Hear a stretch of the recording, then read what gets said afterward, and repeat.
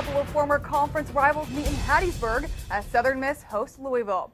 I'm Hannah Chalker, and this is Conference USA Point After. It's an interesting matchup as the Cardinals are undefeated, while the Golden Eagles and head coach Ellis Johnson are looking for their first win of the season.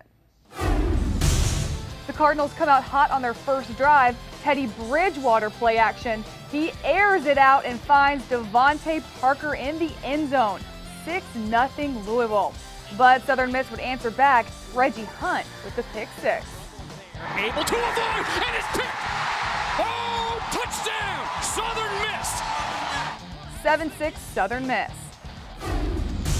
On to the second, Golden Eagles in the red zone. Hand off to Jalen Richardson, who takes it into the end zone. 17-12 Southern Miss at the half. We go to the fourth quarter, Senorise Perry takes it 14 yards for the touchdown, 21-17 Louisville. The Golden Eagles begin their next drive strong with this pass to DJ Thompson. But it wouldn't be enough as Louisville goes on to defeat Southern Miss 21-17. Jalen Richard rushed for 59 yards and one touchdown.